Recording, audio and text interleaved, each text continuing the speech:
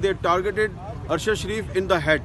So this is very important that uh, what was their motive. We reject or the press release released by the Kenyan uh, police. We want an independent, uh, transparent inquiry. In a letter to the Chief Justice of Pakistan, uh, where he mentioned all the names and the details uh, and the nature of the life threat he was facing in Pakistan. He uh, left the country when he saw that he is not getting any justice. We are demanding an international, fair and transparent investigation into this murder. As President Islamabad High Court Bar, I have uh, demanded that there should be a judicial inquiry to probe into the reasons of the death of Mr. Arshad Sharif. An international joint investigation investigation team should be constituted to look into the affairs in which circumstances he was murdered in Kenya and which were the circumstances which compelled him to leave Pakistan, to go to Dubai, in which circumstances he went to Kenya, and what were the circumstances when he was murdered in